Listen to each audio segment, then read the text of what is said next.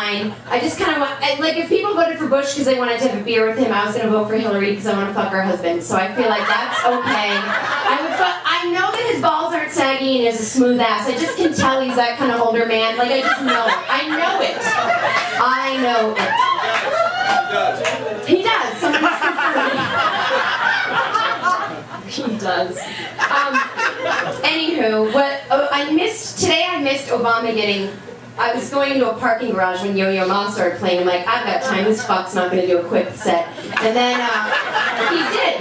And so then I get out of my car. I missed the whole fucking thing. We were onto like a helicopter. Like it all happened so fast. And I know I can watch it and rewind, but I want to be there for the moment when people go, "What were you doing?" Well, I was in a fucking parking garage, and the guy showed up late for work, and I parked behind someone and I had to give a key. I mean, you know, I'm trying my fucking best to be part of the world. But, you know.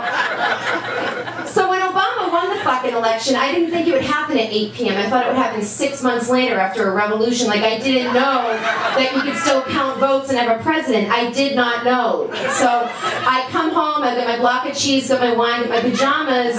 I'm like, well, I'm hunkering down for the long haul. And then at 8 o'clock, Chris Matthews is like, I have an announcement to make. And I'm like, this is really gonna happen. And then my fucking TV switched to HBO and to a rerun of Entourage. And I started going, "Dun, dun, dun, dun, dun." oh yeah, and I'm like, no, no. And don't, before you judge me, and my fucking fiance tapes that show, ironically. That is, he's a good person and not a hipster. He just like, you know, like sometimes you, someone tells you write a spec script and you start TiVoing every fucking show and to get familiar. I know I'm throwing out language, but let's just stop doing things ironically in the new year. You know, like I Sex in the City now unironically. I will admit it's a wonderful show. The characters are rich. Every woman is like that. Even Tina Fey loves the show, and she mentioned it last week on 30 Rock. And uh, so, you know, every woman loves it. Even but my friend wears black tights and Doc Martens. She likes it too. She wishes she didn't. Okay, so as Barack Obama is getting announced the winner, I'm watching fucking Entourage and I can't move my DVR, the remote, the batteries, and I can't get it to change, and I'm screaming, "I love you so much, Neil!" But why do you set the DVR to take new episodes of Entourage? The first black president, and I'm watching a fucking Jeremy Piven. I'm screaming. My upstairs neighbors are black. They go, "Shut the fuck up!" I'm like, "I'm trying to support you." There is racism in America. If you don't think it's alive, come to my apartment. We don't like each other. But it's not because of black and white. They're just stupid and they think I'm boring. So it's just a, it's a, it's a personality difference. It's just they're younger than me. It's not a race thing. Get that out of your heads.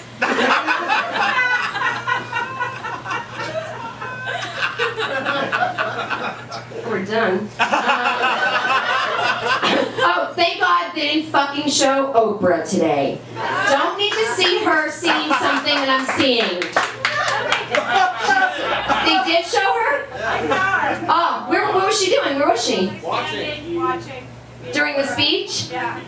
By the grace of God, he shielded my eyes from that because I can't take it anymore. I couldn't take watching her watch him win. It just felt like I was watching a TV show. Like, was there really a black president elected, or am I getting confused with like a Lifetime movie because there's Oprah and she's watching? I know what's happening, and she's just so needy, and everyone goes, "Oh, don't make fun of Oprah. She's been through a lot. She was molested." No.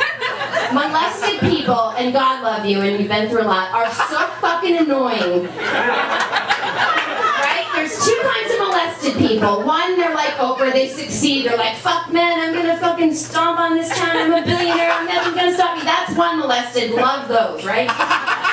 But they all still have that thing behind the eyes, like a Vietnam vet. When you look at them, they're so fucking. No, no, this is where I it's not a Vietnam vet, but I'm just saying, like, when you see one, you go, I know where you were, like, you know? But then you see molested person, you go, oh, they're so needy. Don't even let them ask you out for coffee. You will never fucking get away from them. They just, they need you so much, and there's nothing you can do for them. You can't unmolest them, so you're never gonna win. And I just get angry that I'm not allowed to make fun of her. I have a very good job, and sometimes I'm on television, and I still can't afford wedding gifts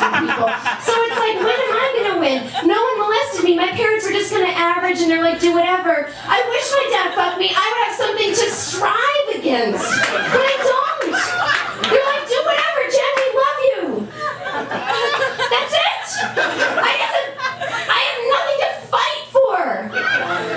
I have no penis to remove from my, my memory. So don't feel bad for her. Sometimes you just feel bad for me. Go, Oprah's molested. That's why she got where she is. She's an outlier.